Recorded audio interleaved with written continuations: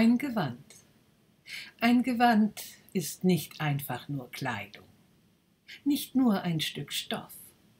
Ein Gewand umhüllt mich, mal zärtlich fließend, mal kräftig schützend, stützend, streichelnd, tröstend.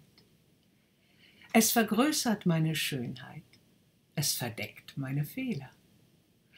Ein Gewand ist Freund, ist Geliebter, ist Fremder, ist Vertrauter.